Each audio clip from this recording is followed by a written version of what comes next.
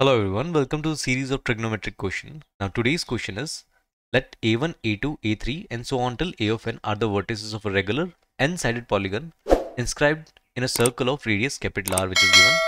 Now along with this one more condition is given that is a1, a2 length whole square plus a1, a3 length whole square and so on till a1, a of n. If you join the vertices you will get a particular length square is given as 14r square. Now using this condition we need to determine the value of n that is n-sided polygon. So this is our objective. So let's start with the circle. Let's say the center of the circle is O. I'm going to mark the vertices. So let's say vertices are A1, A2, A3 and so on till A4 and if you continue this the last one will be A of n here.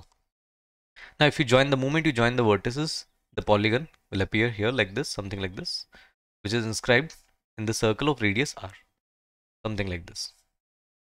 Now our main objective will be calculating this length. If i get this length in the terms of n somehow if i get this in the terms of n and then i can calculate using this condition i can calculate then and that is our objective because if n vertices are there n sides will be there. So our objective here is a1 a2 so let's do one thing. In order to calculate a1 a2 i'm going to join center with a1 and center with a2 now the total angle here, the total angle, I think the total angle here is, total angle is 360. If you divide into n parts, the angle will be 2 pi by n. Now let's do one thing here. Let's drop a perpendicular from center. Now if I drop this perpendicular, it will be a perpendicular bisector. Reason being these two triangles will be congruent. Now if this, if I talk about this individual angle, the individual angle is pi by n and this angle will be also pi by n. Now, if you take this triangle separately here, connected with O, A1 and similarly A2, if you drop a perpendicular and this side is pi by n, this angle is pi by n and this angle is also pi by n. Given that radius is capital R and capital R, I can easily calculate A1, A2 here. So the value of A1, A2 will be clearly visible. The vertical projection is r sine pi by n and one more vertical projection is also r sine pi by n in both the triangles. So the value is 2r sine pi by n. Now next objective is a1 a3. Let's do one thing. Let's connect the center with a3.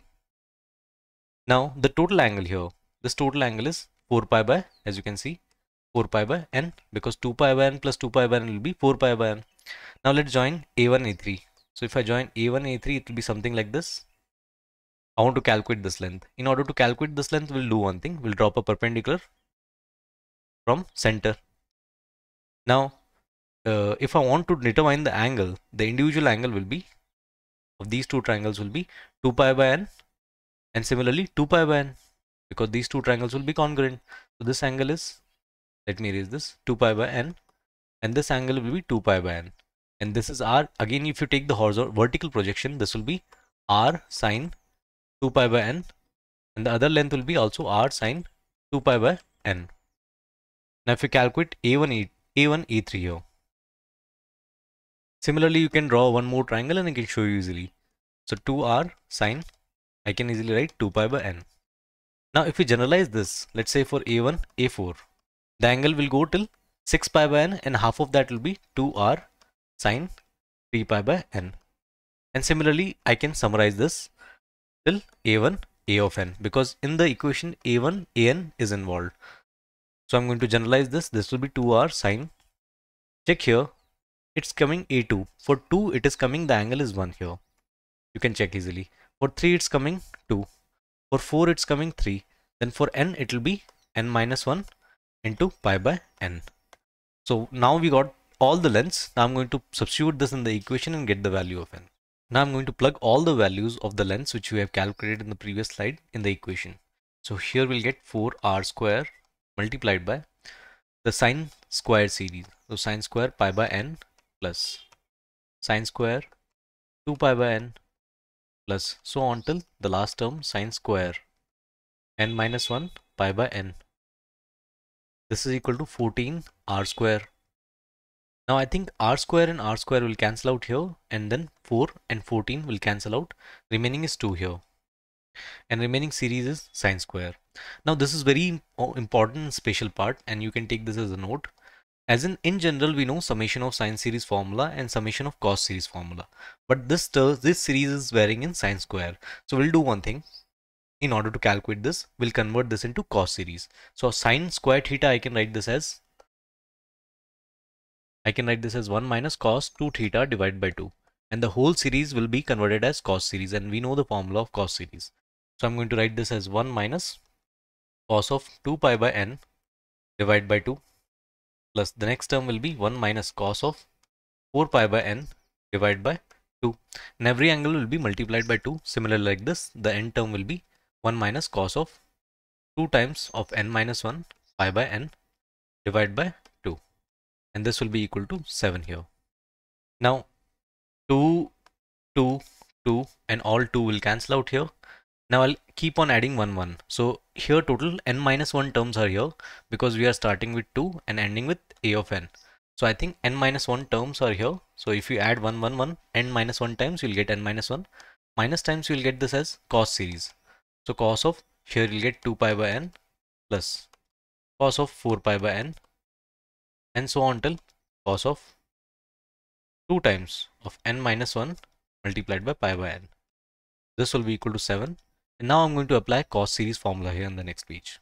Now I'm going to apply the cos summation series formula here. So n minus 1 as it is here minus sine of, usually I apply the formula like this, sine of number of terms into common difference divided by 2. So I think we'll get this multiplied by cos of first angle plus last angle divided by 2.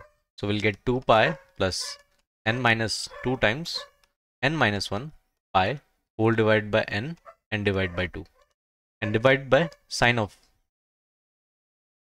common difference divided by 2. So that is 2 pi by n and divide by 2 here. This is equal to 7.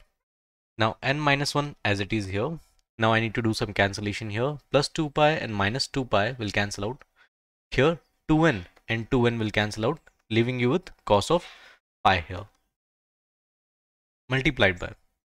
Here 2 and 2 will cancel out. I can write this as sine of. If you divide by n you will get this as pi minus pi by n here. And whole divided by I think we can write this as sine of pi by n. Now if you notice one more thing here this is sine of theta here and this is sine of pi minus theta so if you consider this as theta, this angle is theta, then this is pi minus theta here. And sine of supplementary angles are equal. So these two will cancel out and it is given as 7. Now, here we got n minus 1 and then remaining is cos of pi. Cos of pi is minus 1, so plus 1 is equal to 7 is given. Now the value of n will be equal to 7. The number of sides of the polygon is 7. This will be our final answer and that will be all.